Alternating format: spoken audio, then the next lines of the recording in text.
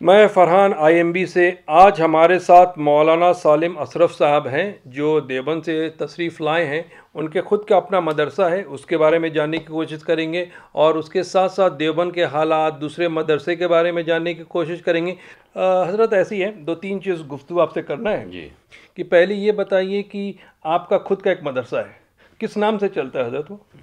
میں مولانا سالم اشرف قاسمی دیوبند سے تعلق رکھتا ہوں اور میں نے ہندوستان میں رہتے ہوئے الحمدللہ دو سطح پر کام کیا ہے۔ جی۔ ایک تعلیمی سطح پر کام کیا اس کے لیے مرکز کی حیثیت ہے دارالعلوم اشرفیہ دیوبند۔ اس مدرسے میں ہم نے تعلیم کے نظام کو رکھا اور اس میں عالمیت کا کورس ہے اور جو اسلامک لاء میں پی ایچ ڈی ہمارے یہاں ہوتی ہے وہ جس کو مفتی کا کورس کہتے ہیں وہ ہے۔ اسی طرح سے حفظ اور تجوید ہے۔ کمپیوٹر اور انگلش وغیرہ کا نیچے سے لے کے اوپر تک نظام ہے۔ اس کو طریقہ کار صرف یہ ہے کہ ہمارے یہاں ملک سے بھی اور ودیش دوسرے ملکوں سے بھی بچے پڑھنے آتے ہیں۔ اور کچھ ہاسٹل میں ہم اس کی ذمہ داری لیتے ہیں۔ کچھ اپنی بیس پر باہر کے ہاسٹلوں میں جو کرائے پر ہیں ان میں رہتے ہیں۔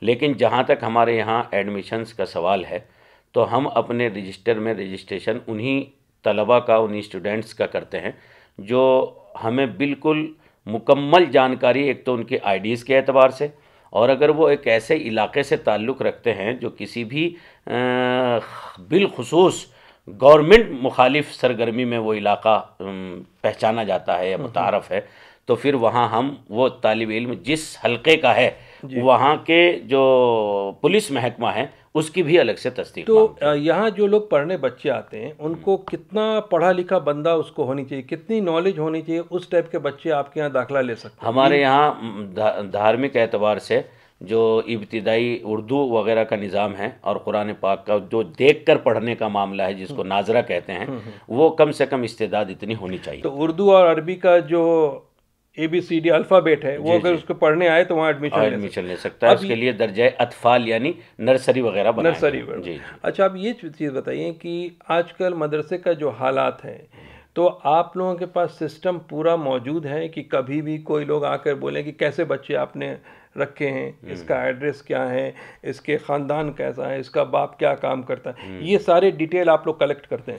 دیکھیے ہمارے یہاں جو داخلہ لینے کا طریقہ کا جہاں تک سوال ہے اس کا مدرسے کے اسٹیبلش ہونے کا اس کے وجود میں آنے کا۔ تو اس کے لیے سب سے پہلا جو طریقہ کار ہے خود ہم نے جو طریقہ کار اختیار کیا گورنمنٹ سے باقاعدہ اقرا یونیورسل ویلفیئر جو ہے ٹرسٹ بنایا ہم نے۔ اور ٹرسٹ کو گورنمنٹ سے منظور کرا کے اور اس کے انڈر میں دارالعلوم اشرفیہ دیوبند کا قیام عمل میں آیا۔ اچھا۔ تو اس کا مطلب یہ ہے کہ ہم کاغذی اعتبار سے ذرہ برابر بھی کمزور نہیں ہیں۔ یہ تو ہوا ہمارے پرسنل ادارے کی ایک مضبوطی، اس کے بعد اب آنے والے اسٹوڈنٹ کا مسئلہ ہے۔ وہ کہیں ہمیں کل کو کٹگرے میں نہ کھڑا کر دے، اس کا مشکوک ہونا۔ تو ہمارے پاس جو فارم ہوتا ہے، اس فارم میں اگر میں اس وقت میں دکھا پاتا، اگر میں سفر میں نہ ہوتا آپ کو، تو اتنے کالمس ہوتے ہیں اس میں سامنے والے کی ڈیٹیل کے لیے۔ کہ اس کی جنم کنڈلی مکمل معلوم ہو جاتی ہے کہ جو اس کے ساتھ سرپرست آ رہا ہے، اس سے اس کا کیا رشتہ ہے، اس کی قومیت کیا ہے، اس علاقے میں اس کے باپ کو کس عرفیت سے پہچانا جاتا ہے اور اس کی مکمل جانکاری اگر اس فارم کو ہم کسی پولیس ادھیکاری کو یا تفتیشی ایجنسی کو سونپ دیں تو اس بچے کے مقام تک پہنچنے میں ذرہ برابر بھی اسے کوئی تکلیف نہیں ہو سکتی۔ مطلب جو بھی اسٹوڈنٹ ایڈمیشن لینے آتے ہیں تو اس کی پوری تحقیقات کر کے آپ لوگ اس جمع کے کر بعد کے لیتے ہیں۔ اور اس کے ساتھ آگے کی بات سنیے۔ چونکہ مدارس اسلامیہ گورنمنٹ کے بالکل بھی اباؤٹ نہیں ہے بلکہ گورنمنٹ کا جو ایک ذمہ داری تھی کہ ہر ہندوستانی کو شاکسر بنانا۔ ہر ہندوستانی کو ایجوکیٹڈ بنانا۔ اس کے لیے معاون و مددگار بننا ہے۔ اور سب سے بڑی بات یہ ہے کہ گورنمنٹ سے کسی طرح کا کوئی چندہ جو افلیکٹڈ ہیں منظور ہے گورنمنٹ سے وہ ایک الگ چیز ہے۔ لیکن میں ان مدرسوں کی بات کر رہا ہوں جن کو ہم چلا رہے ہیں۔ تو ان مدرسوں میں کوئی بھی مدد گورنمنٹ سے نہیں لی جاتی ہے۔ اچھا۔ پلس ہم نے جو فارم میں جہاں اور بہت سی دفعات لکھی ہیں ایک دفعہ یہ بھی لکھی ہے کوئی طالب علم داخلہ لینے کے بعد اگر ذرہ برابر بھی گورنمنٹ کے قانون یا ملک مخالف سازش یا کسی طرح کی بھی ایسی تحریک سے وابستہ پایا گیا جو تحریک ہمارے ملک کے قانون اور حکومت کے خلاف ہو، تو وہ چاہے طالب علم لاکھ جو ہے ٹیلنٹ والا ہو، لیکن یہ ادارہ فوراً اس کو برخاست کرنے، باہر نکالنے کے لیے پابند عہد ہے اور اس پر باقاعدہ اس کے سائن لیے جاتے ہیں طالب علم کے۔ اور اس کے لیے ہم بالکل اس کے لیے تیار رہتے ہیں اور اس طالب علم کی نہ حمایت کرتے ہیں، نہ تائید کرتے ہیں۔ ابھی جو ایک واقعہ پیش آیا، اس میں بھی ہم نے میڈیا کو اور گورنمنٹ سے یہی اپیل کی کہ اگر وہ واقعتاً جو ہے مجرم ہیں، تو پورے علماء دیوبند اس بات کی تائید کرتے ہیں کہ ان کو ایسی کڑی سے کڑی سزا دی جائے تاکہ آئندہ کسی گندے عناصر کو اس پاک پوتر سرزمین کو استعمال کرنے کا موقع نہ ملے۔ اور یہ ادارے جنہوں نے تحریک آزادی میں وہ رول ادا کیا کہ ان کے مقابلے میں کوئی ہندوستانی تحریک کھڑی نہیں ہوتی۔ تو ابھی جو آپ بول رہے تھے کہ ریسنٹ جو واقعہ ہوا ہے اس کے بارے میں بھی کہ وہاں پہ قریب انیس بچوں کو پکڑا گیا جی جی۔ تو انیس بچوں کو پکڑنے کے بعد سترہ بچوں کو اسی دن چھوڑ دیا گیا جی جی۔ کیونکہ ان کے پیپر اور ساری چیز بہت اچھے سے اور وہ سارے اسٹوڈنٹ تھے۔ جی جی۔ دو بچے تھے جو کہ یا کاربور کے چکر میں آئے ہوں گے یا وہ کہیں کے اسٹوڈنٹ نہیں تھے جو ابھی بھی پولیس کے حراست میں تو آپ جس طرح کا پیپر ورک کرتے ہیں، جتنے بھی بڑے مدرسہ جیسے کہ ندوہ ہے دیوبند ہے یہ سارے بھی اسی ٹائپ کا پیپر ورک کرتے ہیں؟ پیپر ورک کرنے میں جو ہمیں ہیلپ ملی اور جو ہمیں ڈائریکشن ملتی ہے وہ دراصل انہی بڑے مدرسوں سے ملتی ہے۔ دیوبند سے اور دیوبند سے ندوہ سے اور جو بھی ہماری بڑی تحریکیں ہیں جی۔ وہ ہمیں ہر وقت سترک کرتی ہیں کہ دیکھو یہ انسانیت کے خادم ادارے ہیں۔ یہ بے لوس ہیں۔ یہاں بیٹھنے والوں کو کروڑ پتی ارب پتی بننے کے لیے نہیں بلکہ انسانیت کے اور ملک کے سچے خادم پیدا کرنے کی یہ تحریکیں ہیں اور یہ فیکٹریاں ہیں۔ لوگ تو انہیں کہتے ہیں دہشت گردی کی فیکٹریاں جن کے دماغ میں بھیجا نہیں ہے۔ لیکن جو لوگ ان کی حقیقتوں سے واقف ہیں اور ہمارے ملک کے بڑے بڑے لوگوں نے اس بات کا اقراف اعتراف کیا ہے، ہمارے ملک کے ولین راشٹرپتی راجندر پرساد جی جب دارالعلوم دیوبند میں گئے ہیں تو وہاں کی فضا، وہاں کے ماحول، وہاں کے بچوں کو دیکھ کر انہوں نے کہا، کاش اگر میں یہاں اس کو دیکھتا، نہ دیکھتا جو انسانیت کی گویا کہ یہ ٹھکانہ ہے، تو میں اس دنیا میں سب سے زیادہ محروم اور بدقسمت ہوتا۔ تو یہاں کی در و دیوار سے مجھے ایک پیسفل انسانیت ہمدردی امن کا پیغام جھلکتا ہوا دکھائی دے رہا ہے۔ اور دنیا کے جو لوگ بھی آتے ہیں جو ہمارے اندر کو جھانک کر دیکھ لیتے ہیں تو انہیں اپنی رائے کو بدلنے میں ایک منٹ بھی نہیں لگتا۔ لیکن میں یہ کہنا چاہتا ہوں کہ یہ ادارے جو ہیں، یہ ادارے ہم یہ اس کو قائم کرنے کے لیے اتنا محتاط ہوتے ہیں اتنا محتاط ہوتے ہیں کہ ہماری جو بڑی تنظیمیں ہیں جیسے جمعیت علماء ہند ہے آل انڈیا ایک ایسا آرگنائزیشن ہے کہ جو پورے پورا ہندوستان کیا حکومت کا ایک ایک فرد جانتا ہے کہ اس کی انسانیت کے لیے کیا قربانیاں ہیں۔ دارالعلوم دیوبند ہے جس نے ستاون ہزار فریڈم فائٹرز تحریک آزادی کے لیے ہندوستان کو دیے ہیں۔ انہی مدرسے سے انہی تپائیوں اور انہی ٹوٹی پھوٹی چٹائیوں پر بیٹھ کر انہوں نے علم حاصل کیا تھا۔ یہ کبھی بھی ملک کے ہت میں تو کام کر سکتے ہیں۔ ملک مخالف ذرہ برابر بھی کام نہیں کر نہیں میں یہ آپ کی جتنی بات ہے حضرت میں مانتا ہوں لیکن آپ کو نہیں لگتا ہے کہیں نہ کہیں یہ سچائیاں یہ چیز دکھانے میں میں بولوں آج کے دور میں جو مارکیٹنگ ورڈ بولوں جی جی۔ آپ خیر اب یہ اسلامی چیز ہے اور دھارمک جگہ ہے تو آپ ڈیفینیٹلی مارکیٹنگ بولوں تو بہت خراب لفظ جی، لگتا ہے۔ جی، لیکن آج کے حالات ایسے ہیں کہ کہیں نہ کہیں آپ لوگ چوک گئے یہاں کی جنتا جو ہمارے نان مسلم ہیں برادرس ہیں اور جو مسلمان ہیں جن کو معلوم بھی نہیں ہے مدرسے کے بارے کے اندر ہوتا کیا ہے ان کو آپ لوگ بتانے میں چوک گئے کہ وہاں پہ ہوتا کیا ہے۔ جی جی۔ تو جس کے وجہ سے لوگوں نے اس کا نجائز فائدہ اٹھایا کہ بھائی مدرسے میں لوگوں کو غلط چیز سکھائے جی، جاتے جی، ہیں۔ جی، تو آپ کو نہیں لگتا اس کی بہت ضرورت ہے جو آپ لوگ میڈیا کو ہمیشہ بلائے کریں یا اپنے اگل بغل کے پڑوسیوں کو بلا کر اس چیز کو دکھائے کریں۔ عام کیا کریں کہ آپ کبھی بھی ہمارے مدرسے میں آ جاؤ اور دیکھو ہم کرتے کیا بالکل بالکل۔ میں تو سوچتا ہوں کہ آپ تقریباً یہ اس پہ آپ کچھ بتا سکتے کہ ہندوستان میں کتنے بچے چھوٹا بڑا مدرسہ ملا کے تقریباً کتنے بچے پڑھتے ہوں گے؟ پورے ہندوستان میں تین لاکھ ستر ہزار مدارس اسلامیہ ہیں۔ جی۔ جو افلیکٹڈ ہیں منظور ہیں۔ چاہے وہ گورنمنٹ سے کچھ ایسے ہیں جو تعاون لیتے ہیں اور باقی ستر فیصد ایسے ہیں بلکہ اسی فیصد ایسے ہیں کہ جو الحمدللہ پوری مسلم قوم کے تعاون پر چلتے ہیں۔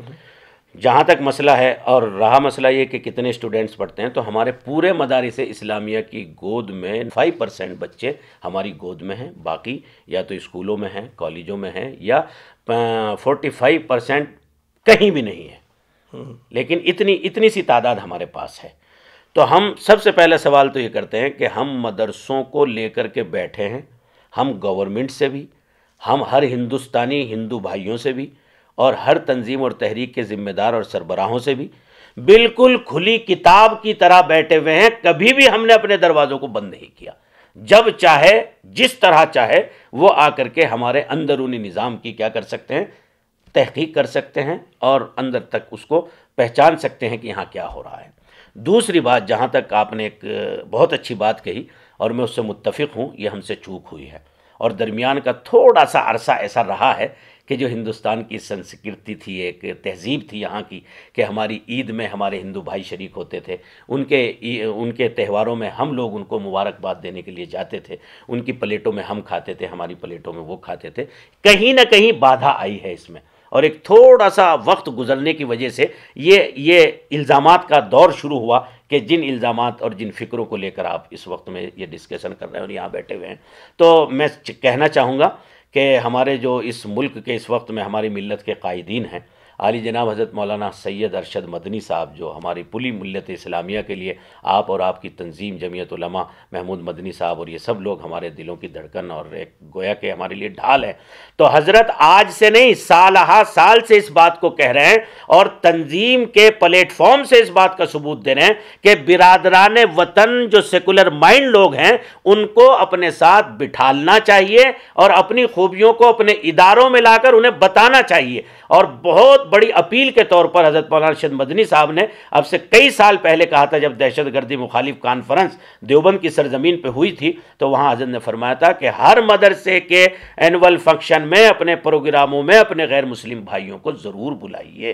الحمدللہ میں اس وقت میں سفر میں ہوں، ورنہ آپ کو دکھا تھا ہمارا کوئی بڑا پرانا ادارہ نہیں ہے، پانچ سال پرانا ادارہ ہے اور ہر سال الحمدللہ سو طلبہ کے قریب فارغ ہوتے ہیں۔ ابھی بھی ہمارا سات تاریخ میں، سات اپریل میں اینول فنکشن ہے۔ میں اپنے تمام درشکوں کو دعوت دوں گا کہ آپ اس کو لائیو بھی دیکھ سکتے ہیں۔ ویسے بھی دیکھ سکتے ہیں جو میڈیا کیوریج اس کو کرتا ہے، تو یو پی لیول کی تمام میڈیا حتیٰ کہ دلی سے بھی کچھ میڈیا کے اہلکار ہمارے یہاں الیکٹرونک اور پرنٹ میڈیا رہتی ہے۔ دوسرے، جب آپ ہمارے اسٹیج کا منظر دیکھیں گے، تو اس اسٹیج سے آپ کو یہ بات سمجھ میں آئے گی کہ یہ اسٹیج دارالعلوم اشرفیہ دیوبند کا اسٹیج یا اینول فنکشن کا اسٹیج نہیں ہے، بلکہ اتحاد اور انسانیت کی درس دینے کا یہ اسٹیج ہے۔ اس پر دلت بھی ملیں گے، اس پر ہمارے بنیا سماج کے لوگ بھی ملیں گے، ہمارے پنڈت جی بھی ملیں گے۔ اور میں نے ابھی آپ کو اپنے فوٹوز میں کچھ دکھایا بھی تھا جب آپ گفتگو کر رہے تھے۔ تو میں، ہم نے یہ بات کی، کوشش کی ہے مدارس کے پلیٹ فارم سے کہ ہمارے اوپر جو یہ الزام ہے ہمارے برادران وطن ہمیں سامنے بیٹھ کر دیکھیں، ہمارے ساتھ کھائیں پئیں اور سارے نظام کو دیکھیں تاکہ انہیں اس رائے کو تبدیل کرنے میں جو ہے وہ اور میں اپنے تمام درشکوں سے آپ کے اس پلیٹ فارم سے اور آپ کی اس فکر انگیز جو آن ٹیبل گفتگو ہو رہی ہے، میں یہی پیغام دینا چاہوں گا۔ کہ تمام مدارس اسلامیہ کے جو ذمہ داران ہیں، جب بھی وہ اپنے یہاں کوئی پروگرام کریں تو اپنے قرب و جوار کے، خاص طور سے دلت سماج ہے، اسی طرح سے پچھڑا ورگ ہے، یا ہمارے دوسرے جو ہمارے بھائی ہیں ہندو برادران، ان کو ضرور انوائٹ کرنا چاہیے۔ اس سے آپس میں صدبھاؤنا بھی بڑھے گی، گنگا جمنی تہذیب کو فروغ ملے گا اور جو یہ آپس میں ایک دوسرے کے ساتھ جو ہے وہ ہو رہی ہے، اس سے بھی ملک کی حفاظت ہوگی۔ تو اس پوائنٹ پہ روشنی ڈالنے کے لیے بہت بہت آپ کا شکریہ تو اس سے یہ پتہ چلتا ہے کہ آپ لوگوں کے پاس پورا پیپر پورا پورا تو قانونی کاروائی کبھی بھی ہو تو لوگ جا کے لے سکتے ہیں جی، ایک جی۔ چیز اور پوچھنا تھا کہ جب چھوٹے چھوٹے مدرسے کھلتے ہیں جی۔ تو ان کو کہیں نہ کہیں سے سرٹیفکیٹ ملتا ہے کیا وہ کون سے آرگنائزیشن ہے جو کہ ان کو یہ دیکھتے ہیں کہ ہاں تمہارے اندر قابلیت ہے، تم لوگ پڑھے لکھے ہو اور تمہارے اوپر کوئی قانونی کاروائی نہیں ہے۔ ان کو جو جانچتی ہے، مدرسہ کھولنے کے لیے سرٹیفکیٹ دیتی ہے، وہ کون کون سے لوگ ہیں؟ جی جی۔ ہمارے یہاں اس ملک میں تقریباً پونے دو سو سال پرانا قدیم ترین ادارہ کہ جس نے ایسے ملک کے سچے خادم اور مذہب کے سچے رہنما پیدا کیے کہ جنہوں نے صرف ملک ہندوستان ہی میں نہیں بلکہ پوری دنیا میں کام کیا۔ اور پوری دنیا میں انسانیت کے اور اسلام کے پیسفل پروگرام کو انہوں نے اپنے عمل سے، اپنی تقریروں سے پہنچایا۔ سب سے پہلے تو وہ ادارہ ہمارے لیے ماں کی حیثیت رکھتا ہے۔ اور اس ادارے کا سب سے اہم بات جو ماننا ہے کہ اس کے اکابر نے ایک پلیٹ فارم بنایا۔ جس کو کہتے ہیں رابطۂ مدارس اسلامیہ۔ رابطۂ مدارس اسلامیہ کا مطلب ہے کہ جتنے مدرسے چھوٹے چھوٹے کھلے ہوئے ہیں ان سب کو وہ آپس میں کنیکٹ رکھ۔ اور یہاں کے جو بڑے لوگ ہیں یہاں کی جو تفتیشی گویا کہ ٹیم ہوتی ہے جو اس کا فاؤنڈیشن ڈالنے کے لیے جاتی ہے وہ سب سے پہلے اس بات کو غور کرتی ہے کہ اس علاقے میں ضرورت بھی ہے یا نہیں۔ یہ بندہ جو ڈال رہا ہے اس کا بیک گراؤنڈ اچھا بھی ہے یا نہیں؟ یہ مجرم تو نہیں ہے۔ یا اس کے خلاف کوئی گورنمنٹ میں یا قانون میں کوئی دقت تو نہیں ہے۔ جب سب اس کے اخلاقی اور کریکٹر کے اعتبار سے اس کو جانچ لیتے ہیں، اس کے بعد ہی اس کو سرٹیفکیٹ دیتے ہیں، اگر وہ اس بات کا حقدار ہوتا ہے تو۔ سب سے پہلی تو تفتیشی معاملہ یہاں ہو جاتا ہے۔ اس کے بعد ہمارے ہر اسٹیٹ میں تقریباً ہمارے یو پی سرکار میں بھی مدارس بورڈ بنے ہوئے ہیں۔ تو وہاں آپ جو ہے سوسائٹی بنائیے۔ سوسائٹی بنا کے ہماری گورنمنٹ اس کے منظوری دیتی ہے رجسٹر نمبر دیتی ہے۔ اس کے بعد ہی جا کے مدارس کھلتے ہیں۔ اور ہم بغیر ان کاغذوں کی پورے کیے ہوئے مدارس کو کھولنا نہ ہمارے بڑے پسند کرتے ہیں اور نہ ہم اس کی اجازت دیتے ہیں۔ جمعیت علماء ہند بھی یہی کرتی ہے۔ تو مطلب پیپر اور ہر طرف سے بہت آرگنائز مدرسہ کا۔ جی۔ لوگ بیکار کی مدرسوں کو بدنام جی، کرنے جی۔ کے لیے لگے رہتے ہیں۔ اس میں صرف ایک ہی کوتاہی میں نے جہاں تک ابھی تک نوٹس کی جو ہم مدرسے کے لوگوں نے چوک گئے تھے کہ جو ہمارے نان مسلم بھائیوں کو بلا کر دکھانے کی جو بات تھی وہ چیز جو ہم لوگوں نے فوکس نہیں کیا اسی کا ایڈوانٹیج ان لوگوں نے ہمارے کو لڑانے میں استعمال کر جی جی بالکل بالکل۔ اور اس خلا کو پورے کرنے کی مکمل کوشش کی جا رہی ہے۔ جی۔ الحمدللہ اب کوئی اسٹیج ایسا نہیں رہتا ہے جس پر ہمارے برادران وطن موجود نہ ہوں۔ تو یہ مدرسہ ایک ایسا آرگنائزیشن ہے جس سے بہت کم پیسے میں اور غریبوں کو جن کے پاس پیسہ نہیں ہے جی، جی۔ ان کو بھی ایک مفت میں ایجوکیشن مل رہا ہے۔ ایک زمانہ تھا جب صرف اردو اور عربی کی باتیں وہاں ہوتی تھی لیکن آج آپ دیکھیں وہاں کمپیوٹر سکھایا جا رہا ہے سائنس کی چل رہا ہے میتھ ہو رہا ہے ہر سارے سبجیکٹ پڑھائے جا رہے ہیں۔ تو میں بولوں گا یہ اتنا بڑا یونیورسٹی ہے جی، جی۔ اور اتنا بڑا سمندر ہے جس سے بہت بڑا طبقہ ہندوستان کا پڑھا لکھا بن رہا ہے۔ بن رہا ہے۔ جی جی۔ بالکل آپ کی بات صحیح ہے۔ مدارس اسلامیہ ایجوکیٹڈ کرنے میں اور لوگوں کو شاکشر بنانے میں ایک اہم رول ادا کر رہے ہیں۔ اور جو لوگ یہ کہتے ہیں کہ وہاں صرف قرآن حدیث اور صرف یہی پڑھایا جاتا ہے ایسا نہیں۔ آپ ہمارے دیوبند آئیے دارالعلوم وقف جائیے۔ دارالعلوم دیوبند میں خود آپ اگر کمپیوٹر کی لیب دیکھ لیں گے تو ہوش اٹھ جائیں گے کہ ایسا ادارہ کہ جس پر خالص یہ لیول لگایا جاتا ہے۔ کہ وہاں قرآن حدیث کے علاوہ کچھ نہیں پڑھا جاتا ہے۔ ایسے محقق اور ریسرچ اسکالر لوگ پیدا ہو رہے ہیں۔ ابھی میڈیا میڈیا کے لیے باقاعدہ وہاں کورس قائم ہوا ہے پرنٹ میڈیا کے لیے بھی الیکٹرونک میڈیا بھی اور آپس میں جو ڈبیٹ ہوتی ہیں بیٹھ کر کے اس کی باقاعدہ جو ہے الگ کورس اور بنا ڈالی ہے اکیڈمک بنائی جا رہی ہیں۔ ایسا نہیں ہے مدرسہ اپنے اسٹیٹس سے بہت اوپر اٹھ کر اس وقت میں کام کر رہا ہے چونکہ حالات کھلے ہیں۔ اور ہر جگہ ایک صرف انگلش اور کمپیوٹر یہ تو اب تھوڑا سا پرانے لفظ ہوتے جا رہے ہیں۔ جی۔ ہاں یہ کوئی بڑی بات نہیں ہے کہ صاحب کمپیوٹر آ جائیں اور انگلش آ جائیں۔ اس سے آگے کے جو کورسز ہیں جن کے لیے آدمی کو ضرورت پڑتی ہے یونیورسٹیوں میں جانے کی۔ وہ الحمدللہ مدارس اسلامیہ میں جا رہے ہیں۔ اگر آپ کو میں جو حجت الاسلام اکیڈمی ابھی دارالعلوم وقف دیوبند میں قائم ہوئی ہے، اس کے کورسز اگر آپ پڑھیں گے تو میں سمجھتا ہوں کہ جس کے لیے لوگ لاکھوں لاکھوں روپے یونیورسٹی میں داخلے کے لیے خرچ کرتے ہیں وہاں کھانا بھی دیا جا رہا ہے لحاظ بھی دیا جا رہا ہے اور تمام چیزیں رہنے کے لیے ہاسٹل بھی فری دیا جا رہا ہے اور ایسے قابل بنا کر لوگوں کو ایمبیسیوں میں اور بڑے بڑے ترجمہ نگاری میں اور بہترین ریسرچ اسکالر بنا کر آگے بھیجا جا رہا ہے۔ اور انگلش میں ایسے رسالے نکل رہے ہیں کہ جو دنیا کے ہر بڑے کے اور وی آئی پی وی وی آئی پی کے ٹیبل پہ پڑتا ہے۔ تو یہ مدارسی کا مسئلہ ہے۔ ہاں ایسا نہیں ہے۔